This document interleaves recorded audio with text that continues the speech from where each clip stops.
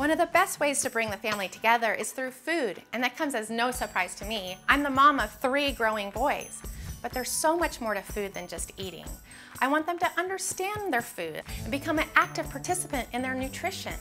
So today we're doing one of our favorite family meals, individual pizzas. We make our own pizza dough, several batches ahead of time. We freeze it and bring it to the kitchen fridge to defrost and rest. Once the dough is ready, we cut it into dough balls a bit larger than a golf ball, which makes a great size for a one portion pizza. Once the crust is ready, add some pizza sauce, but not too much, and then your choice of toppings. Toppings can be prepared ahead of time and stored in the fridge, which makes it easy to have an entire topping bar ready with each family member's favorites. The great thing about a convection oven is it heats evenly, so I'm able to use multiple racks at the same time.